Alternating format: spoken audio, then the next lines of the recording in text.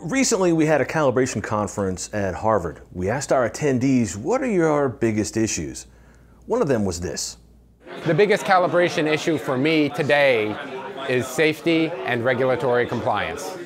So safety and regulatory compliance, what do we have to offer for that, Ned? So if you can automate, that would bring the level of information up. You want to um, capture data electronically as you observe it. If you can use a documenting calibrator, that also uh, would, would improve the quality of information.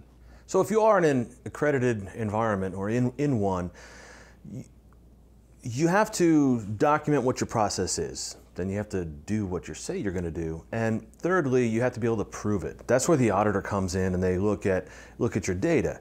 So what Ned is saying with a, having a documenting calibrator and a documenting software is that it does all that work for you. You don't have to worry about writing it down and documenting it. You plug in a cable, unload it, and that all happens automatically. So when it's time for the auditor to come in, they say, show me tag number seven.